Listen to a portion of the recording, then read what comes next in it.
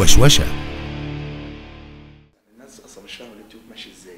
اليوتيوب ده يا جماعة بيحاسبك على الثواني بتاعه الإعلان اللي اتشافت. يعني أنا النهارده آه، بيقول لك لا بتاخد ملايين. ده بصي أقول لك حاجة. آه، اولا لو اليوتيوب لو افترضنا الكلام الغلط اللي بيتقال إيه أنت بتاخدي على المليون ألف دولار. okay. الأغنية جابت كام؟ 100 مليون. مثلا يبقى إحنا خدنا كام؟ 100000 دولار. ده مثلا يعني اضرب له في 15 باين الدولار عامل كده يبقى كام؟ مليون مليون ونص ولا 15 مش عارف حاجة كده يعني. مليون ونص. آه. ده ده ده, ده إحنا لو خدنا فلوسها أصلا. يعني. دلوقتي بقى عندك دلوقتي أنا النهارده خدت دخلت اتفرجت على الأغنية فأول سنتين إعلان فانت أصلا بتجري. كنا بنجري ما حدش بيتفرج على النت أصلا على اليوتيوب صح؟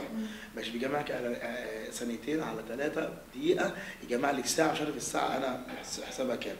بعد ما تصفصفي كام ساعة مشاهدات بيبدا الشركة الوسيطة اللي بينك وبين اليوتيوب تاخد منك آه، 40 أو 50% حقها. وبعد كده تيجي حوار كبير يعني. بس مفيش حسب كام يعني؟ إيه؟ اجركم كام؟ بنكسب كام من إيه؟ من كل والحفلات. آه، ما فيش أجر ثابت لينا يعني. آه. مش عايز تقول في الآخر يعني؟ لا لا عادي عادي طب بس هو حسن طلع وقال ان أنتوا كسبتوا مبلغ وقدره من الاغنيه استحالة حصل وانت كده. قلت أنا ما خدتش حسب لا استحالة كان ليه بالله ما تصريح حصلش كده. هو قال إحنا أخدنا بس أنا مش فاكرة بالظبط قال في الموقع إيه إن هم الأغنية عملت مبلغ وانت آه. قلت أنا ما خدتش ولا جنيه. أنا أنا عن نفسي ما عملتش منها خالص. لأن أنا لكن هو أخد هو هو أكيد هياخد آه، ما أعرفش هو خد ولا لأ آه، بس حتى لو خد يعني هو يعني يستاهل هو راجل تعب في حاجة ودي قناته وده أكل عيشه بس أنا مش فارق معايا ليه؟ أنا أقول لك أنا اولا الموضوع في الأصل كان عند حسن أنا بدي واحد حق برضه. أنا كنت على خلاف كبير معاه.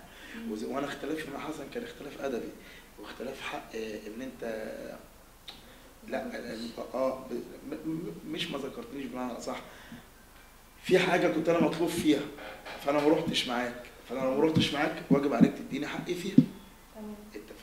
وبعد طبعا كان كانت المواقع بتاخد الموضوع لحتة حاجة يعني أنا تعبان في لحن جايب سبع على العالم ومشارك في أغنية اسمها بنت كده جايبة الثانية على العالم. فالنهاردة لما تيجي تنزل أخبار مثلا في الجريدة الفلانية فلازم تذكر الاثنين مع بعض.